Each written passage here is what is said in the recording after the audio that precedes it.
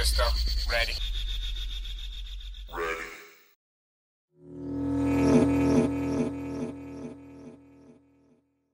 Co rok, w październiku, pasjonaci koni oraz myślistwa spotykają się w Międzyrzeczu Górnym, by wspólnie świętować.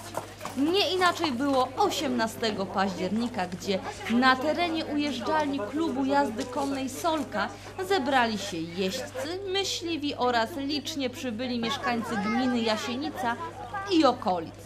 Powitania gości i oficjalnego otwarcia biegu świętego Huberta dokonał Janusz Pierzyna. Serdecznie dziękuję organizatorom, Państwu Solarz, którzy po prostu rodzinnie już podchodzą do jeździectwa i to cieszy, kiedy podziwialiśmy córkę, kiedy jeździła jeszcze w czankach, to nie myśleliśmy, że tato się aż tak zaangażuje.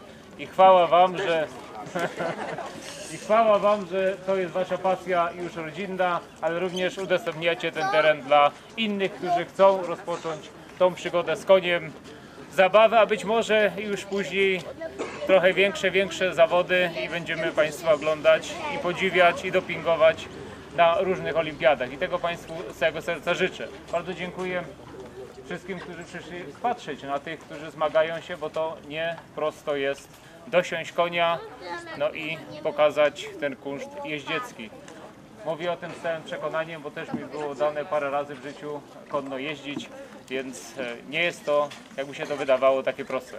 Także życzę Państwu udanego dnia, przyjemnej zabawy, widzom dobrego odbioru, a przede wszystkim bezpieczeństwa, aby dzisiejszy dzień, ten drugi etap pod tanc budą, tak po naszemu mówiąc, był równie udany i szczęśliwy również dla Państwa.